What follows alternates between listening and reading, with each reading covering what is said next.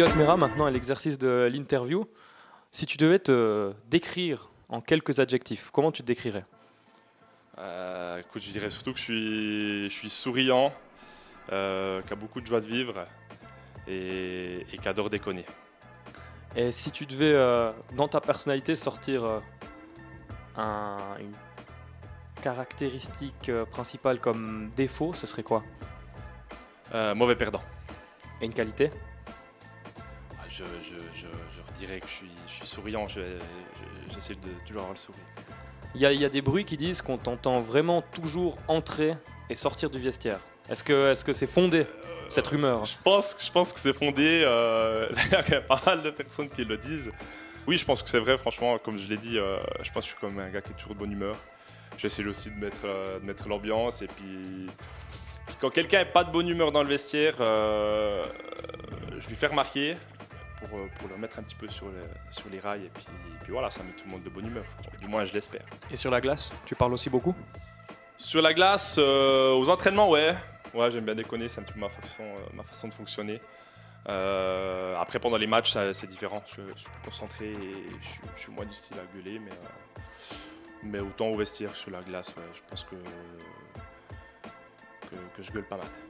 Et euh, du coup, un Elliot Mera qui dit rien dans le vestiaire et qui dit rien à l'entraînement, ça c'est pas bon signe Euh, écoute, il y a- il y, a des fois où je peux être un petit peu fatigué ou, ou je gueule un petit peu moins, mais c'est vrai qu'en tout cas pour, euh, pour Danny, euh, c'est- pas bon signe. Pour lui, il pense que- qu'il y a eu quelque chose de, de mal, mais c'est vrai que je fonctionne principalement comme ça. Si, si tout va bien, je, suis- je suis de bonne humeur, et puis s'il y a quand même quelque chose, ou après des fois il y a le boulot à côté, mais Danny met trop l'accent sur ça. Il, il saura, il saura.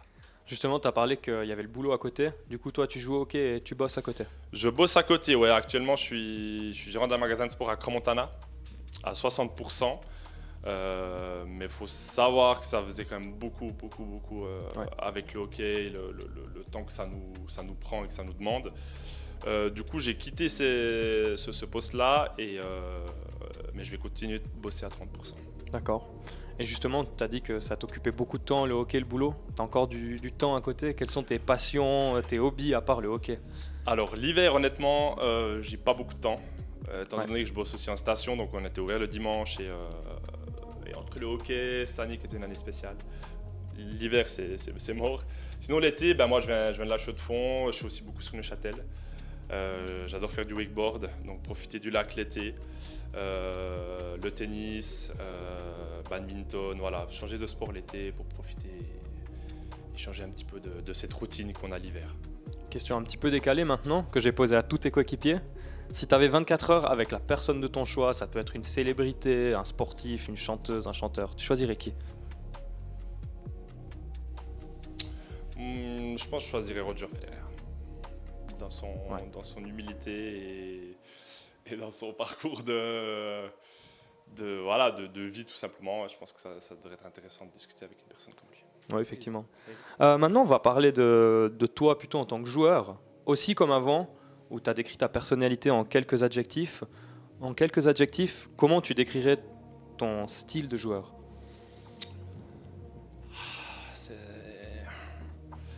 J'essaie d'amener, euh, d'être, d'être offensif. J'aime bien ça. Euh, Comment je pourrais dire ça? Pas rugueux, parce que je suis pas forcément le mec qui met le plus de, de, de charge, mais euh, Tu mets de l'énergie, quoi. j'essaie de mettre de l'énergie et, et- et j'essaie quand même de, de donner mon maximum à chaque match. Et, euh, et voilà. Et tu vois un aspect de ton jeu que tu pourrais améliorer?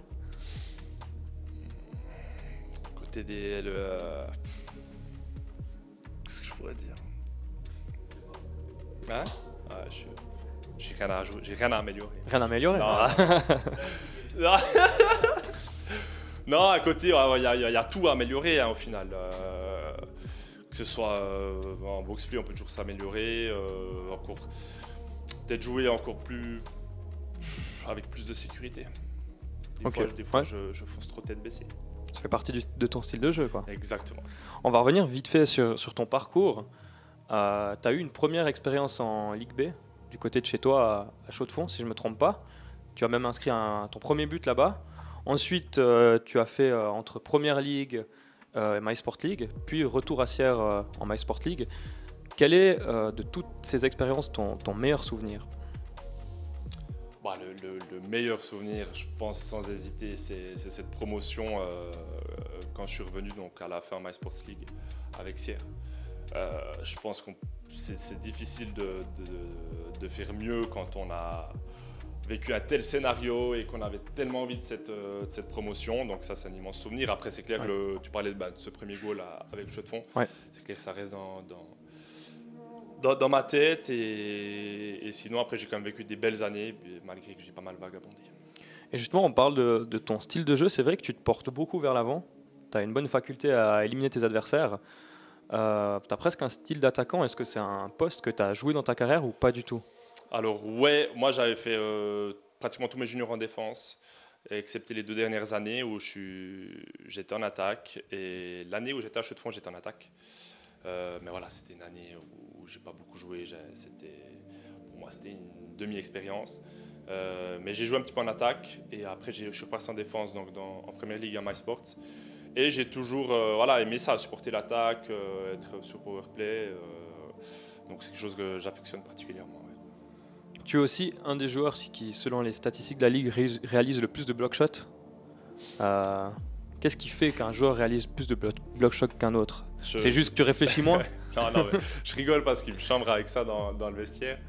Euh, écoute, c'est vrai que moi je me pose pas trop de questions, puis, euh, puis j'essaie de bloquer un maximum de shots. Parce que c'est important, ça donne une bonne énergie à l'équipe. Que ce soit un attaquant qui bloque à la bleue ou un défenseur en, en box ou dans une situation à 55.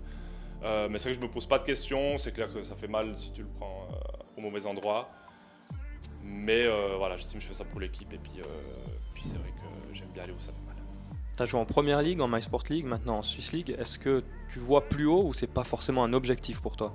Non, très sincèrement, c'est pas un objectif. Euh, Et honnêtement, c'était même pas un objectif de retrouver la Swiss League. J'en avais pas fait une priorité. Ça s'est fait avec Sierre, j'en suis, euh, j'en suis heureux, ça c'est sûr.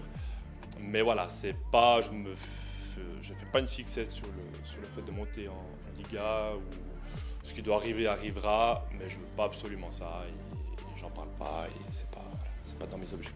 Ok, très bien. On est content de t'avoir Sierre en tout cas. Ben, c'est gentil, moi je me sens bien ici de- depuis quelques années et c'est vrai que je, suis- je suis installé et je me sens bien ici. Et question euh, un peu décalée que je me suis posée sur ton numéro, pour, sur ton numéro pardon. Pourquoi le numéro 7 C'est plus un numéro de foot le 7 normalement. Ouais, alors euh, c'est un numéro que j'ai depuis tout petit. Ouais. Euh, même quand j'étais tout petit, j'étais au, au goal un petit coup pendant deux saisons et j'avais gardé ce numéro. Euh, je suis même pas né le 7. C'est pas une date de naissance, rien. C'est- Oh. j'ai toujours aimé ce numéro et je l'ai toujours eu. On t'a donné ce numéro et tu l'as gardé. Est-ce que tu pourrais jouer sans le numéro 7 Alors, euh, je pense qu'il y a Nico qui, qui rigole derrière la caméra, mais je crois qu'on a tous eu, euh, en tout cas au sein de l'équipe, quand on est à, à l'intérieur du vestiaire, on a tous eu la preuve à chaud de fond. Ah oui, Quand, quand Bernard euh, Verger, non, non, quand, quand, voilà, quand j'avais pas mon maillot et j'avais pas mon numéro à cheveux de fond, franchement, j'étais, j'étais pas là. c'était pas ton meilleur match. C'était pas du Ouais, c'était pas ton meilleur je match. pense le pire de ma carrière, mais euh, du coup, je- j'ai besoin de mon numéro, je crois. Et si c'était pas le 7, ce serait quel numéro? Le 77 Ouais, euh, pff, non, Aucun. Fini le hockey. franchement, ouais, j'arrête. j'arrête.